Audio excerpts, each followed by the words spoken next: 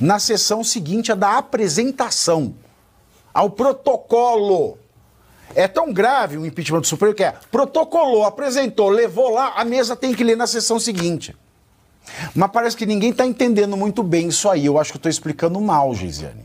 Olha, é, uma pequena parte pegou, né? denunciar o Pacheco por prevaricação. Quem é- de onde é que tiraram essa ideia? Porque você denuncia o Pacheco por prevaricação, sabe o que você tem que fazer? Você tem que fazer a denúncia para a PGR. Exatamente. E a PGR. vê- Você acha? Não, o que eu falei é: não leu. como manda a lei, da voz de prisão em flagrante. Não é denunciar. Que denunciar vai parar no Paulo Gonê, meu amigo. Exatamente. Vai ficar parado. Aí todo mundo fica assim. Aí você joga a batata pro Gonê. Porque tava jogando a batata pro Pacheco. Aí, agora, É isso. não, eu não quero resolver, eu vou jogar a batata pro, pro Gonê agora. é isso pra eu poder falar agora. Mas é a PGR, eu fiz tudo que eu poderia. Mas é exatamente